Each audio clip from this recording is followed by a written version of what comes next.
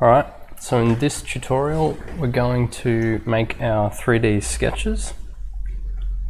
So we've already got our 2D sketches with all our, our points um, and, and planes and in some cases we do have curves in there already or lines from our sketches and they're good for the roll hoops um, but we need to now connect our our 2D sketches into a 3D shape. So to do that, we're going to use the datum tab here. We're going to click on that and use the datum curve tool. And then all you do is select your points. And when you do it, you so I selected the first one, then I held control and selected the second one. Then there's a little option up here, use a straight line or use uh, a spline. If you want to do curved frame members, then you need to use the spline option. If you want to use straight frame members, you need to use the straight line option. So when what we want to do is use straight members, so for us we need to use, uh, make sure you tick this option. There is probably a config option somewhere to make it default to that. And you could definitely create, at the very least, a keyboard shortcut for this tool, probably a mouse shortcut. Um, either would be worth doing because as you can see it will uh, become a, a little bit annoying, but you can save yourself time by creating some uh, intelligent sort of uh, pathways, I suppose.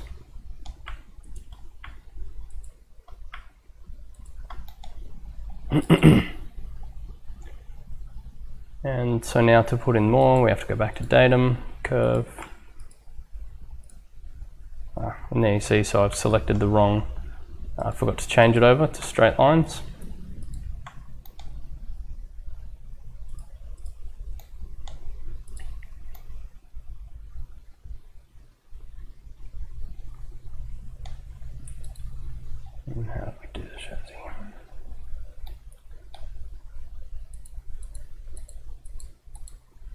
I think, yeah, one goes up to here, straight line.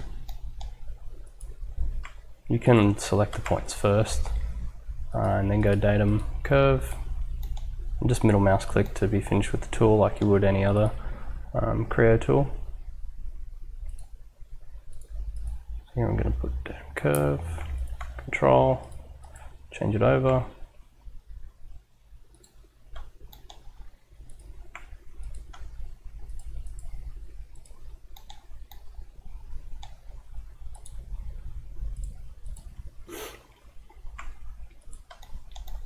Make sure that you're selecting the right points, right sides of the plane, etc.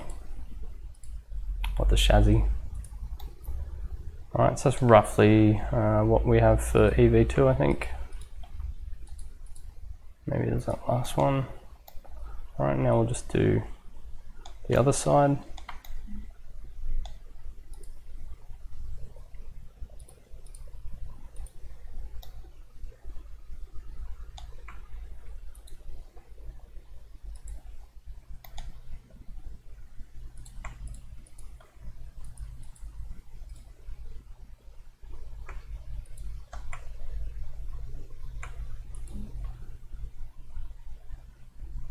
That's what it looks like.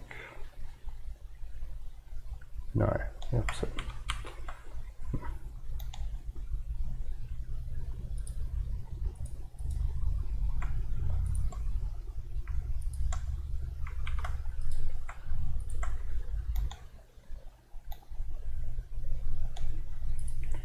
we missed this one. For the purpose of the video, it doesn't really matter if they're the same, but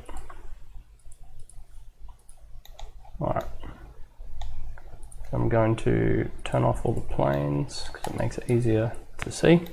and I just missed that one. To there. Alright, now we'll put in the remaining curves, side impact, remember. As I said, if I haven't done it to how the chassis was, that'll be fine for this video.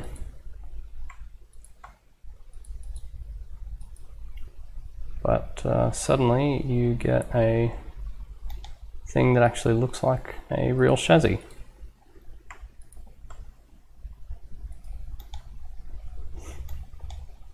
Alright.